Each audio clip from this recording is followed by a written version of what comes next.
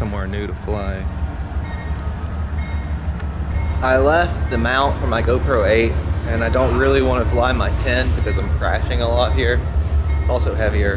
So don't have any flight footage yet. I'm gonna run through some packs and just take it easier and then fly like one or two packs with the 10.